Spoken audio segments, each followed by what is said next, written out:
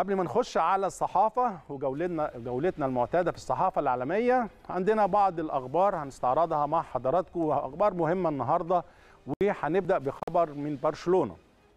برشلونة اللي وافق على بيع 10% من حقوقه التلفزيونية من لا ليجا على مدار 25 سنة اللي جاية للصندوق الأمريكي 6 ستريت ده ده مكتب استشاري مقابل ما يقرب من 207 مليون يورو.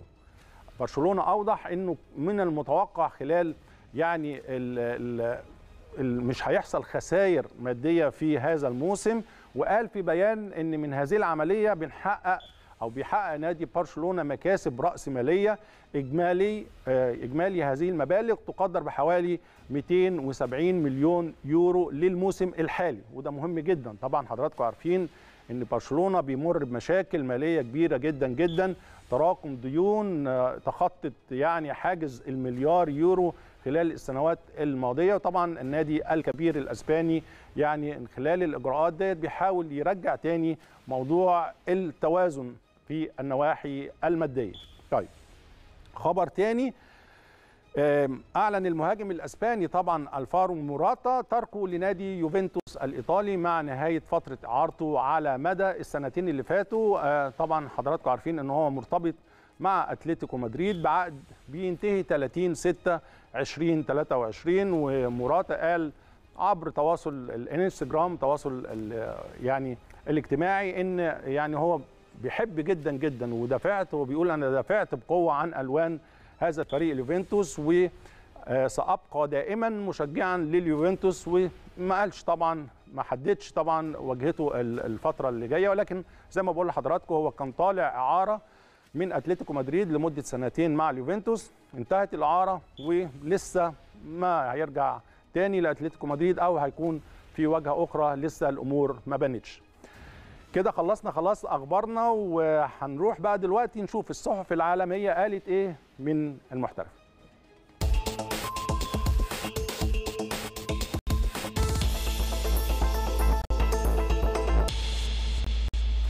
يلا نبدأ جولتنا كالعادة مع ماركا الأسبانية اللي ركزت على مرور عشر سنوات على سيطرة المنتخب الأسباني قاريا وعالميا طبعا حقبة ديل بوسكي طبعا المدير الفني الرائع وكتبت هذا الجيل يعني أنهى العقدة. الصحيفه كمان اهتمت بأتلتيكو مدريد وكتبت تفعيل إعارة جديدة لجرينسمان جرينسمان طبعا في إعارة جديدة ليه من أتلتيكو مدريد. آه سبورت الأسبانية ركزت على أخبار برشلونة وسوق الانتقالات وكتبت ديمبلي ينتهي اليوم عقده مع برشلونة. وبرشلونة يضغط من أجل رافينيا وليفندوفسكي طبعا يأمل في إنهاء التعاقد مع برشلونة. طيب ديبورتيفو دي برضه صحيفة أسبانية ركزت على اقتراب عودة لاعبي برشلونة للتدريبات استعدادا للموسم القادم. كمان الجريدة تحدثت عن سوء الانتقالات في برشلونة وكتبت اجتماع من أجل رافينيا وعثمان ديمبلي لا تزال الشكوك حوله. وطبعا لينجليه مطلوب في الدوري الإنجليزي في توتنهام. نروح ل طبعا صحيفة لاجازيتا دي سبورت ركزت على عودة المهاجم البلجيكي لوكاكو لإنتر ميلان.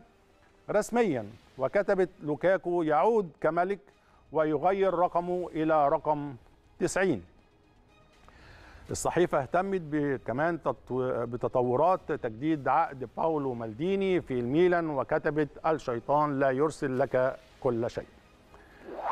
نروح لإنجلترا وطبعا صحيفة من يعني الصحف الإنجليزية اللي اهتمت بمصير صفقة انتقال البرازيلي رافينيا لتشيلسي وكتبت تشيلسي يعني تشيلسي يخاف تشيلسي بيخاف من فشل صفقة كبيرة زي صفقة رافينيا.